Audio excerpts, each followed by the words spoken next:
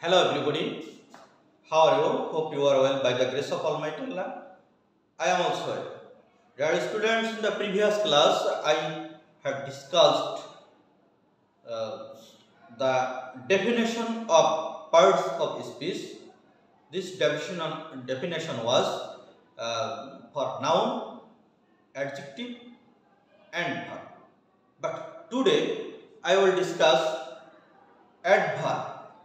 What is adverb? Adverb is a kind of words which modify any noun or adjective.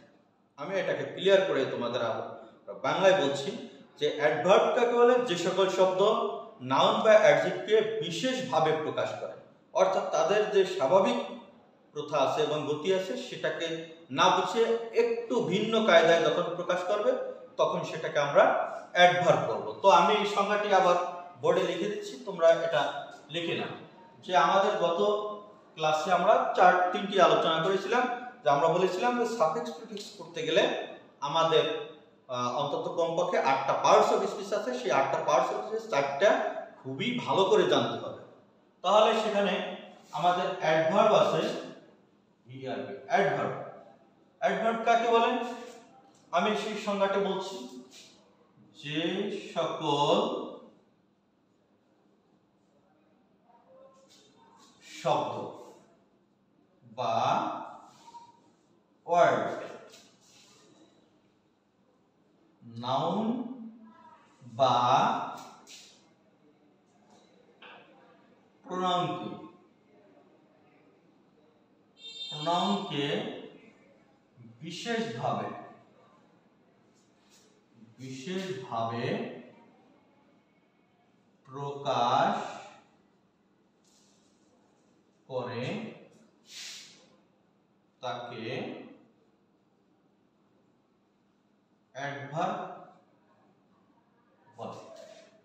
তাহলে আমরা কি লিখেছি? যে সকল শব্দ ওয়ার্ড বা শব্দ বা ওয়ার্ড নাউন বা প্রোনাউনকে বিশেষভাবে প্রকাশ করে, সে তাকে আমরা অ্যাডভার্ব বলি। তো অ্যাডভার্ব আমরা কীভাবে অ্যাডভার্ব নির্দেশ করি সেটাকে আমি দুটো উদাহরণের মাধ্যমে ক্লিয়ার করছি। তোমরাও সেই বিষয়টি খাতায় লিখে রাখো। যে আমি বললাম স্বাভাবিকভাবে হি goes to school he goes সে স্কুলে তো এই কথাটাকে আমি যদি একটু বিশেষভাবে প্রকাশ করি, তাহলে কি হবে? যেমন he goes to school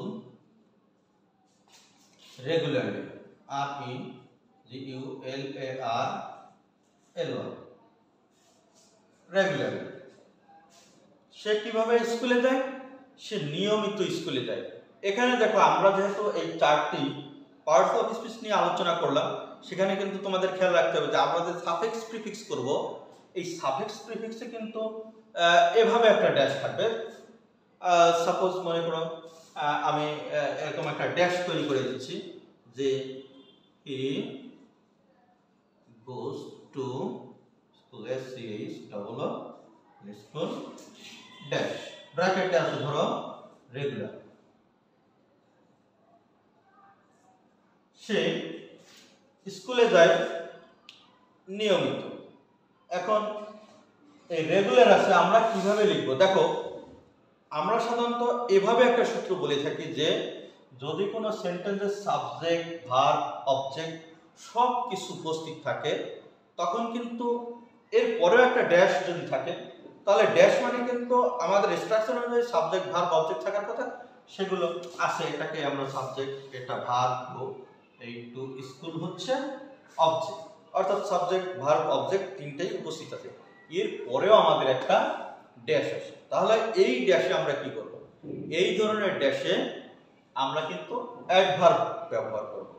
তো অ্যাডভার্ব ব্যবহার করব কীভাবে? তোমরা এই সংজ্ঞাটা, আমি একটা সূত্র বলছি এবং এই সূত্রটা লিখে দিচ্ছি বোর্ডে। তোমরাও লিখে দাও। যে রুল ওয়ান যদি কোনো সেন্টেন্সে টি সি সেন্টেন্স এ সাবজেক্ট যে সাবজেক্ট ভার এবং অবজেক্ট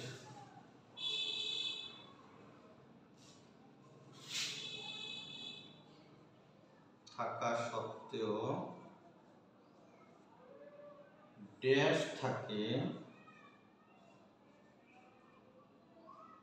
তবে উক্ত ড্যাশে সাধারণত মতো অ্যাডভার্ব বসে অ্যাডভার্ব বসে তাহলে ডিয়ার স্টুডেন্টস কি লেখা হয়েছে? যে যদি কোনো সেন্টেন্সে সাবজেক্ট ভার্ব এবং অবজেক্ট থাকা সত্ত্বেও ড্যাশ থাকে, তবে উক্ত ড্যাশে আমরা অ্যাডভার্ব ব্যবহার করব। তাহলে অ্যাডভার্ব কীভাবে করা হয়? সাধারণত আমরা শব্দের শেষে এল ওয়াই যুক্ত করে আমরা ওই শব্দটিকে অ্যাডভার্বে রূপান্তর করি। এটাও একটা সূত্র। তো তোমরা এটা লিখে নাও খাতায়। যে এরপরে আমরা লিখব সাধারণত সাধারণত কোনো শব্দের শেষে এল ওয়াই যুক্ত থাকলে আমরা অ্যাডভার্ব হিসেবে হিসেবে চিহ্নিত করি। তো করি। কি লেখা হয়েছে? যে সাধারণত কোনো শব্দের শেষে এল ওয়াই যুক্ত থাকলে আমরা সেটিকে অ্যাডভার্ব হিসেবে চিহ্নিত করি।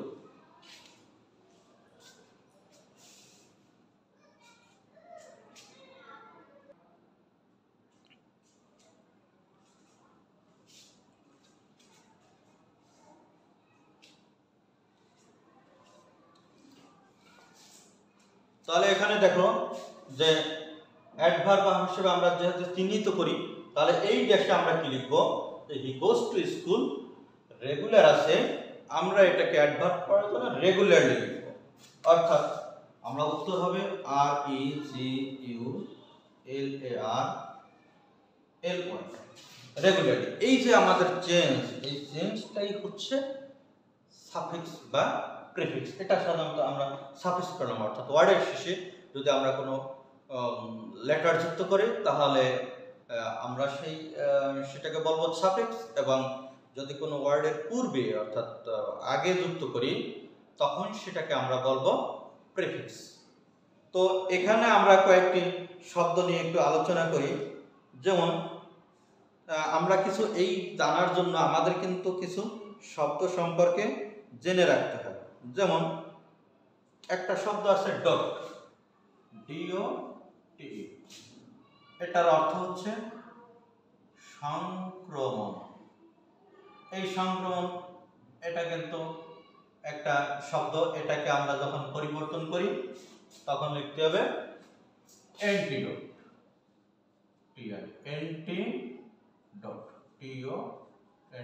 অর্থ কি? প্রতিষেধক। প্রতিষেধক। এই যে যেরকম একটা শব্দকে কীভাবে আমরা পরিণত করব এবং এই পরিবর্তনটা কীভাবে হবে, যে একটা পূর্ণ অর্থ, যৌক্তিক, আমরা ইচ্ছে মতো একটা লেটার বা লেটার্স যুক্ত করে দেবো, তাই বলে আমাদের সাফিক্স বা প্রিফিক্স হবে, তা কিন্তু নয়। যে আমি এমন ভাবে যুক্ত করব যে তার একটা পূর্ণ অর্থ থাকবে। এরকম আমরা আর একটা শব্দ লিখতে পারি, যেমন merit M E R I T merit merit অর্থ কি? মেধা। মেরিট অর্থ মেধা। এটাকে আমি পরিবর্তন করে লিখতে পারি demerit. D M E R I T demerit অর্থ আমরা লিখি কিন্তু কুফল। এই যে কুফল তাহলে এই যে মেরিটের একটা অর্থ হচ্ছে এবং সেই অর্থটাকে আমি যখন ডি যুক্ত করলাম তখন একটা নতুন শব্দ গঠন হলো ডিমেরিট এবং তার অর্থ হচ্ছে কুফল। এভাবে তোমাদের কিন্তু বই বা কোনো জায়গায় নেট অথবা কোনো গ্রামার বই এভাবে যে সকল বই তোমাদের হাতের কাছে আছে, সে সকল বইতে এই ধরনের শব্দের পরিবর্তন তোমাদের আছে, তোমরা সেই শব্দের পরিবর্তনগুলো ভালো করে শিখে নেবে। এবং সেই শেখার পরে এরপরে তুমি তখন প্র্যাকটিস করবে এবং প্যাসেজটার একটু অর্থ বুঝতে পারবে, অর্থাৎ ঘটনা বুঝতে পারবে, তখনই কিন্তু তোমরা এটা কমপ্লিট করতে পারবে। তো আজকে এ পর্যন্ত, আশা করি তোমরা এই গ্রামারটিতে আর ফলো করলে আরও সফল কাম হবে। এই আশাবাদ ব্যক্ত রেখে আজকের মতো এখানে শেষ করছি। আল্লাহ হাফিজ।